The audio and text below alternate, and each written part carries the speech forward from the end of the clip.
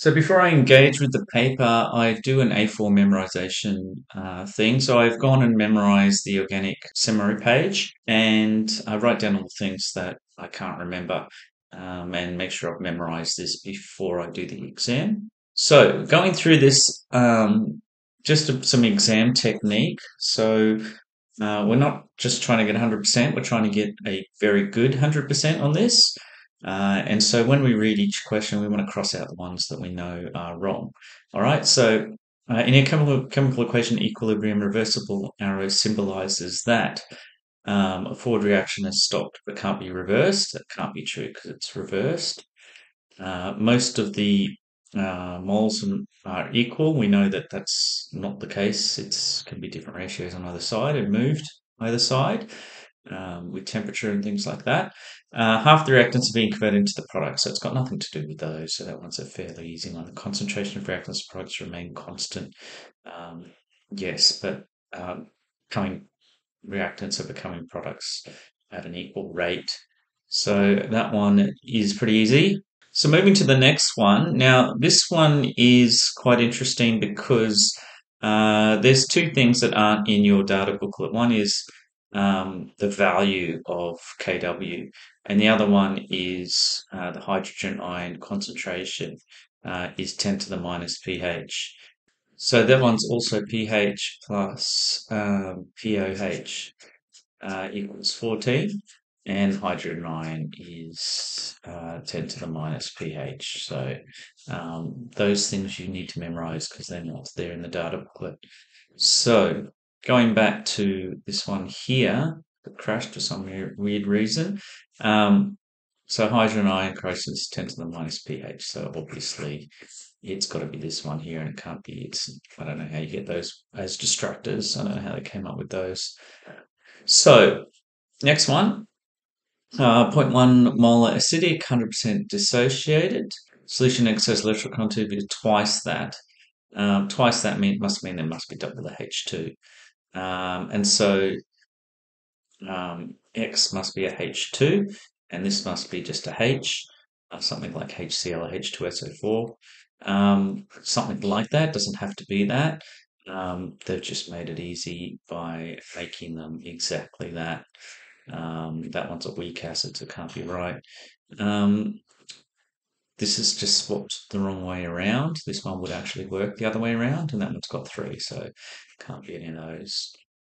So make sure you cross them out as you go, uh, and you're confident that those three are wrong. That should um, help you help ensure that you get every one correct. Um, so we've got purple, um, and that's endothermic. So you're right, heating over on this side. Um, and it's in a sealed one litre container. Okay, so identify which change would, would shift from light purple to dark purple. So we're looking for shifts this way. Sorry, so that's going the other way to make it dark purple. All right, so adding this pushes it over there. That's fine. And in the catalyst, we'll just make it and faster. Decreasing the temperature will push it over here to make it light purple. So that can't be right. Increasing the concentration of H2, again, is pushing in the wrong direction. We're trying to make it more purple. So definitely A. Question five. Um, if uh, for the reaction, that must be above. So if you've forgotten what's what's what, just go to your data booklet. Um, it's quite generous. It even tells you the AB goes underneath, the CD goes on top. And so you can see that the H, H2 and I2 are on top. Uh, it's to the is uh, can't be to uh, two here. Has to be to the power of two. So that's wrong. Um, so all of this stuff is just weird. You never see that. It's always to the power of. All right. So moving on. Okay. On to undergo the condensation reaction. So it doesn't have to be water uh, for a condensation reaction. It could be some other compounds going on. Um, but we have options of molecules. They're all acids and amines. Um, so would this work? Uh, butanol, one, two, three, four. Um, an amine, no. Uh, it looks like it would cut off here. Uh, maybe a carboxylic acid and an amine. Uh, so that would be butanoic acid uh, plus uh, propanamine, which is this one. Uh, and so wouldn't be the alcohols because you've got a double bond O in there. Um, we've kind of worked out the H2O is the one that's coming out. Um, and could it be the other way around? Uh, no, because this one's got the four carbon chain and this one's got the three, not the reverse. Okay, question seven, uh, which is which is the largest potential when joined with the zinc. Um, so we've got magnesium, hydrogen, fluorine, and magnesium. So if we go to your data booklet, uh, we've got zinc.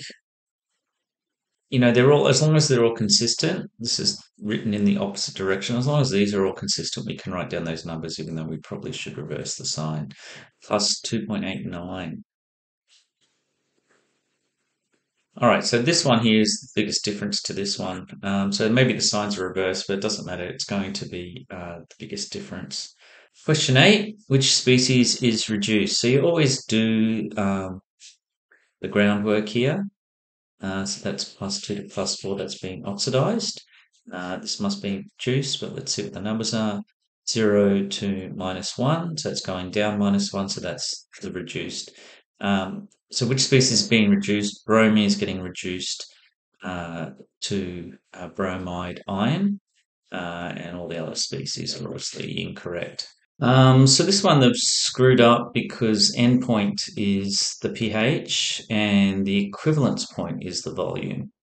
Uh, so that really should be endpoint, and uh, 30 mils is the, is the equivalence point, which is the correct stoichiometric ratio, but shouldn't matter probably. Um, so a titration shows when 60 mils of unknown monoprotic is titrated with 0.1, so maybe it's a HCl, um, and so that would be 0.05 molar. Um, you can see there it's a strong base and a strong acid. Um, so compared to 0.1, the unknown uh, acid is uh, definitely dilute, uh, but not weak. It's dilute and strong. It's definitely concentrated or weak. Um, more concentrated and strong. So uh, that's B, definitely.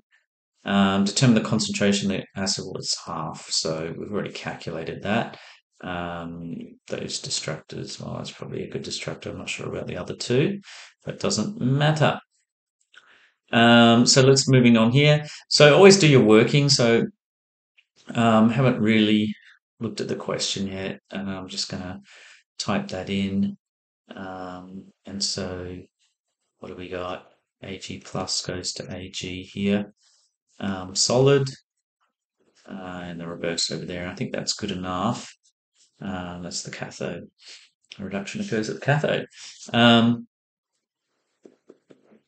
that's electrons. Okay, so determine the statement is true. The spoon acts as the cathode. Yes, the silver electrode has a negative charge.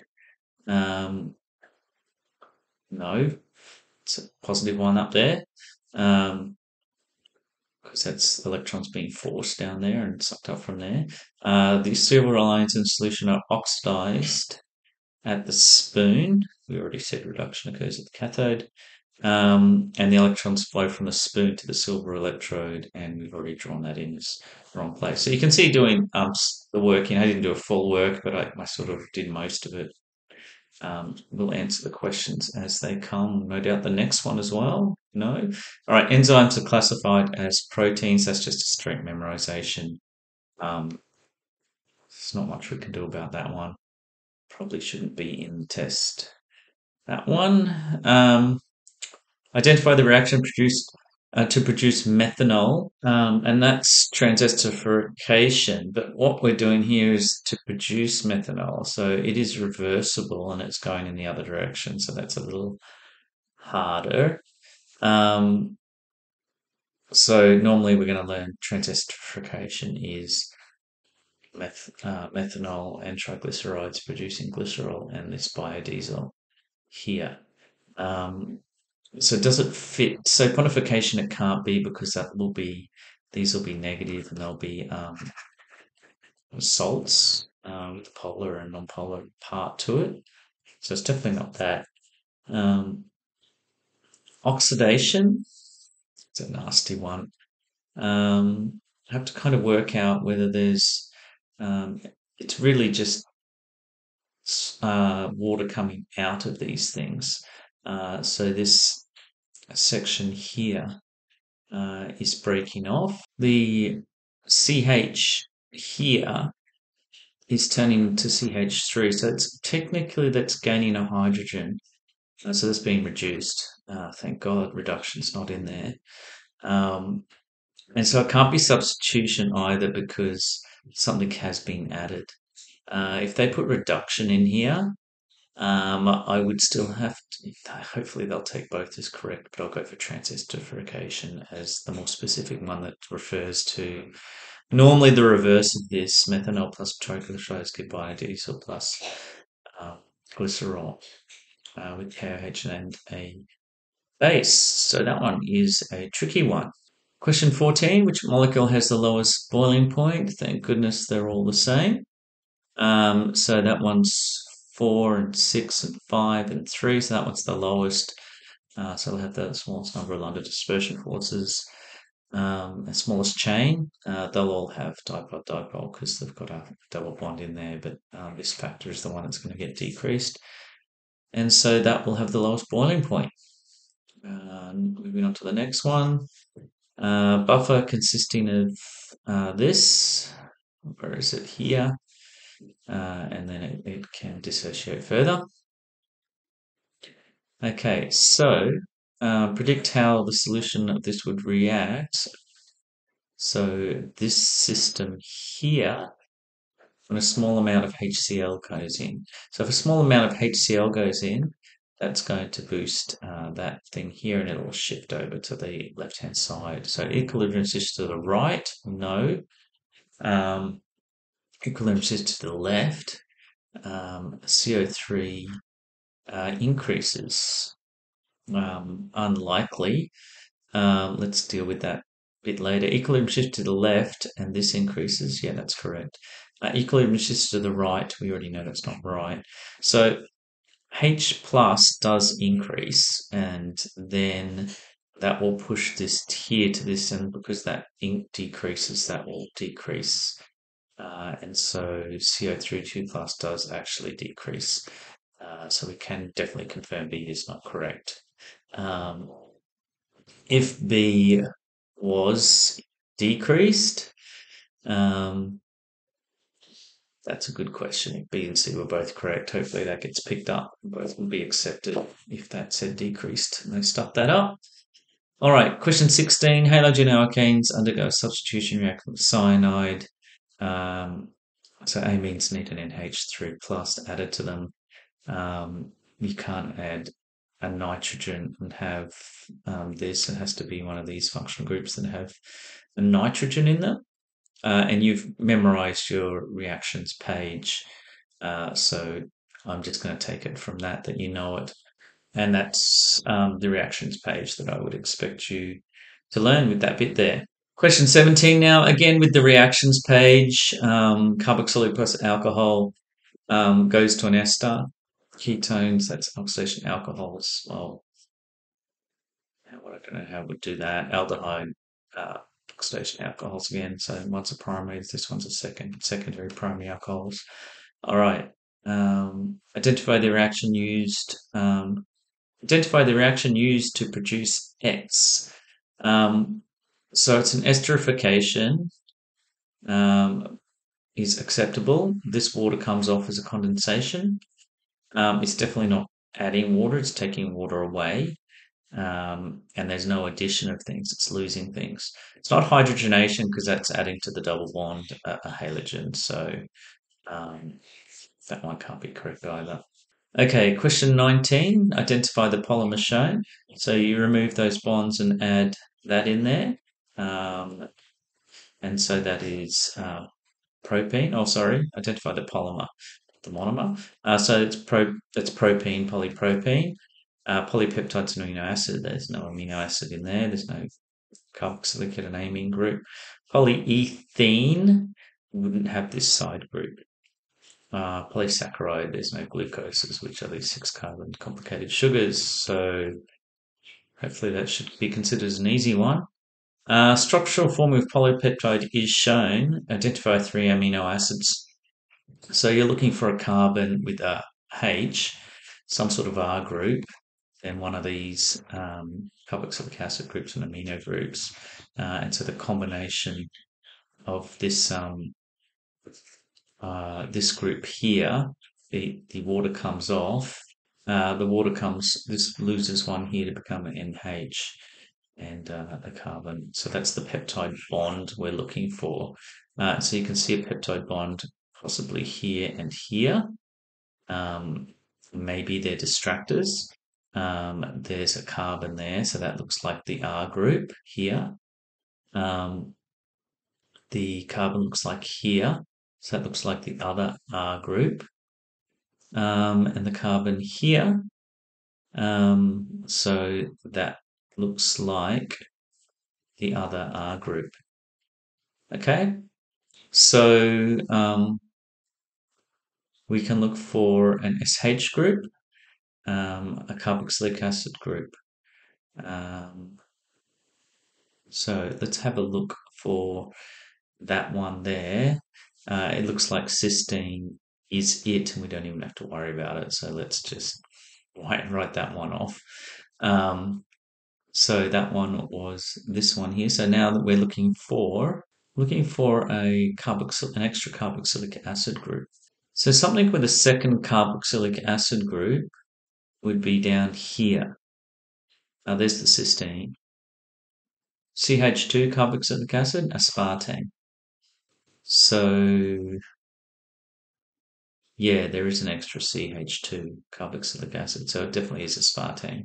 Um, instead of just seeing that these are wrong, let's just confirm alanine has um, a plain carb extra carboxylic uh, alanine looks like it just has a CH3 here and then a H. So if alanine has just a CH3 as it's R group. That was not the R group. My apologies. Then, uh, so that's a nice tricky one. Then we are all good. Because they made both ends look the same, which they're not normally. Um, alanine, yeah, has a CH3. So I think that's enough confirmation to say that B is correct um, and without having to check all these ones out, which is time consuming. All right, um, that's a nice one. I like how they put that there to confuse everyone because it's actually in our group and making it look as if it's one of the um, which one of the carboxylic acid groups, which is not. It's the second carboxylic acid group, mostly are. Okay, so I hope that's helpful.